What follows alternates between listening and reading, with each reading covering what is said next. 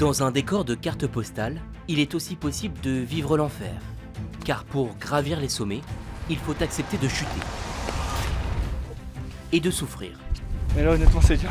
Nous sommes 7 participants, plus ou moins sportifs. Allez, feu. Pendant 3 jours, nous allons vivre des hauts Alors ça, c'est à montrer dans les écoles d'Alpi. Hein. et des bas. Ça, un peu moins. Tout commence au bout de cette route, au pied des Alpes suisses, avec notre guide Norbert Vous aurez un, mousqueton comme ça là qui, euh, qui permet de s'encorder dessus. Préparation du sac à dos. Vous prenez une paire de raquettes chacun, une pelle par cordée et une sonde par cordée. Au total, 12 kilos minimum par personne. Il va donc falloir s'économiser. On va pas courir. hein. Comme ça, vous gardez aussi vos forces parce que c'est pour trois jours. Là-haut, il faut peut-être peler la neige, il faut peut-être couper le bois. Il y a du boulot. On est en autonomie. hein. Destination, Le refuge, il est à gauche du mont Colomb. Donc on va monter dans la vallée comme ça. Euh, en dénivelé, c'est 1000 mètres dans la journée. dans l'après-midi. Un sacré défi pour Mohamed.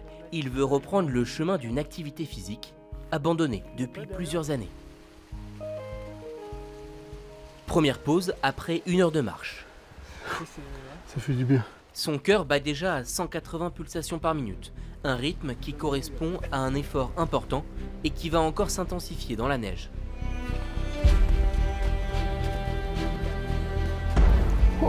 Mohamed se retrouve déjà bloqué. Bah, il y a un trou là. Donc mon pied est coincé en dessous. Attends, je bouge pas. Je peux mettre pas un coup. Tu arrives ou pas? Attends, j'en enlève encore un peu. hein. Une fois dégagé, nous installons nos raquettes. Toujours que la raquette elle soit posée à plat, comme d'ailleurs comme des crampons. Avec la chaleur, la neige ramollit. Ouais, on s'enfonce, ouais.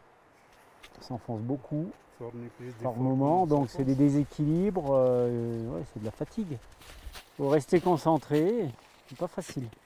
Allez Mohamed, courage Le dérèglement climatique transforme tout le paysage. Au glacier d'Arola, il y a une dizaine d'années, il arrivait jusque là, là, au plat. Ah, et, maintenant, il a dû reculer d'à peu près 200 mètres. C'est surprenant, euh, on s'y attendait, mais c'est vrai que c'est un petit peu plus rapide que ce qu'on pensait. Le glacier mesure aujourd'hui moins de 2 km de long et perdrait chaque année presque 50 mètres. Conséquence, son ascension est rendue plus compliquée. Norbert teste la liaison avec les secours. Euh, c'est pour un essai radio. Ok, merci, c'est mieux que rien. Ici, les dangers sont multiples. Si tu es près des, des- des falaises, avoir des chutes de pierres, quand tu te retrouves près des pentes raides, tu peux aussi avoir des avalanches. Mais pas de quoi inquiéter Johan et Arnaud, deux frangins parisiens. Voilà, tu peux dire aux parents qu'on est vivant, on t'embrasse très fort. Et puis on te dit à bientôt. Et on espère que t'es vivante aussi. Bisous, bisous. Ciao. Objectif, se reconnecter à tout point de vue. On va passer trois jours ensemble, donc ça c'est une vraie euh, aussi aventure euh, collective. Euh, et puis euh, bah, il y a la connexion avec soi-même. hein, Il y a des moments où tu marches et dans la marche effectivement tu réfléchis et puis, euh, et puis voilà, c'est des moments aussi tu, tu médites un petit peu quoi. Mais pas le temps de cogiter. Pour éviter de tomber dans un trou. On va mettre la corde parce qu'on arrive sur un petit glacier comme je connais pas. C'est jour blanc un peu, on voit pas bien le relief. Vivre une expérience forte, C'est l'inconnu quoi. tu sais pas ce qu'il y a derrière. Pour l'instant il y a juste une corde.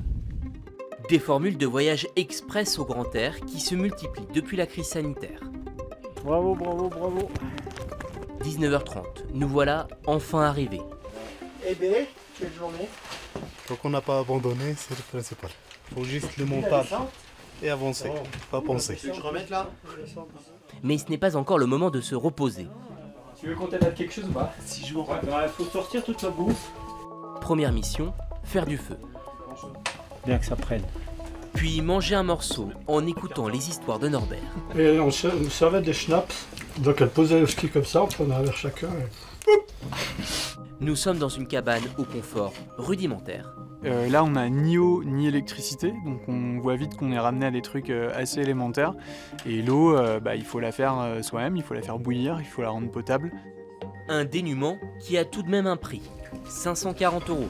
Ça prend en compte l'expédition, les guides, euh, la nourriture, et puis un petit côté, on paye aussi un peu l'aventure. Là, on a fait une journée absolument exceptionnelle, dans un lieu incroyable, sans présence humaine. Reste encore deux jours de marche à 3000 mètres d'altitude, un week-end perché dans la montagne, comme suspendu dans le temps.